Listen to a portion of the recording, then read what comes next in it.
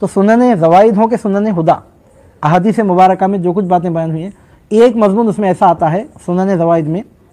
उसके बारे में मुहदसिन ने अलबत् बताया है कि हर आदमी अपने इलाके के अतबार से और अपने ज़माने के अपने इलाके की सरद गर्म तासीरत के मुताबिक अमल करे। वो एक मजमून आता है हदीस मुबारक में। वो तिब से मुतल है, तिब नबवी। बाद नुस्खे हजूर नबी करीम सल्लल्लाहु अलैहि वसल्लम ने तजवीज़ फरमाए हैं।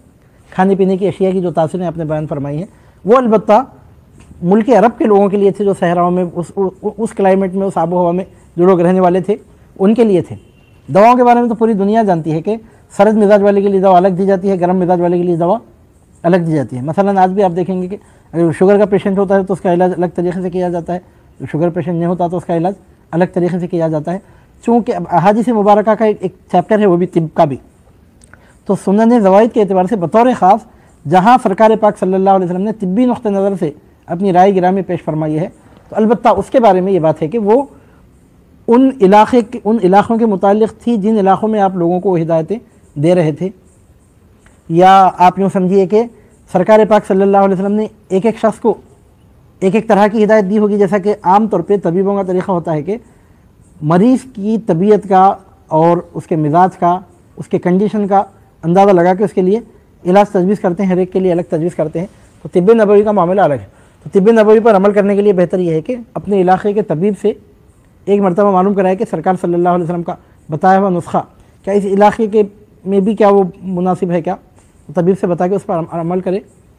बाज़ार में जो तिब नबवी की किताबें मिलती हैं लाकर खुले तौर पर अमल करने ना लग जाए। अलबत् तिब नबवी में भी बाद ऐसी चीज़ें जो कॉमन जिनकी तासीरत हैं। जिनकी तासीरत बिल्कुल कॉमन है, वो तमाम इलाकों के लिए यकसा हैं। तो उन पर अमल करना भी यकीन सुन्नत में मिसाल के तौर पर आजकल आम रिवाज बना हुआ है, वो हिजामा कराने का तरीका है। कपिंग जो की जा रही है आजकल पचने लगवाने का जो तरीका है। अब ये हुजूर नबी करीम सल्लल्लाहु अलैहि वसल्लम की सुन्नत बिला मुबालगा सुन्नत है। कोई ये समझ के हिजामा करवा रहा है कि हुजूर नबी करीम सल्लल्लाहु अलैहि वसल्लम की सुन्नत मुबारक है तो हिजामा करवाना भी इसके लिए बाईस से सवाब है।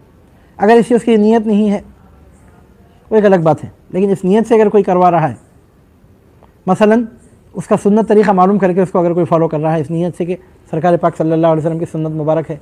तो यकीनन वो काम बाईस से सवाब अब हिजामे के बारे में है कि सत्रह तारीख को, उन्नीस तारीख को और इक्कीस तारीख को हिजामा करवाना सुन्नत है इन तारीख़ों में। चाँद की तारीख़ों के अतबार से। सत्रह, उन्नीस और इक्कीस को। अब अगर कोई इस तरह मतलब एक मिसाल मैं आपके सामने अर्ज़ कर रहा हूँ, अब हदीस मुबारक में इसका ज़िक्र मिलता है, हमको बाकायदा। तो इस तरह सुनन रवायत का भी अगर ज़िक्र मिलता है तो अब ज़ाहिर सी बात है कि पसना लगाना कोई इबादत का काम तो नहीं है, वो एक मुबाह काम है। लेकिन नीयत सुन्नत मुबारक पर अमल की शामिल हो जाती है तो फिर वो इबादत बन जाता है। अब आप उस पर मुकम्मल सुन्नत पर अमल करेंगे तो यकीन और ज़्यादा अदर सवाब का सबब बन जाएगा।